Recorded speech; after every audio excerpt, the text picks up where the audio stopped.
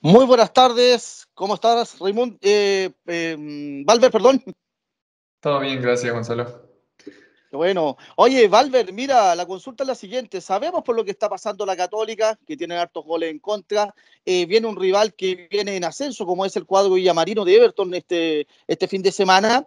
Cuéntame, ¿cómo lo harán ustedes para sobreponerse a esta situación, sobre todo que juegan de local y con el público a favor en San Carlos de Apoquindo, sobre todo con un rival que Everton de Viña del Mar, que ustedes necesitan conseguir los tres puntos de forma urgente para seguir subiendo en la tabla. Muy buenas tardes, éxito y gracias.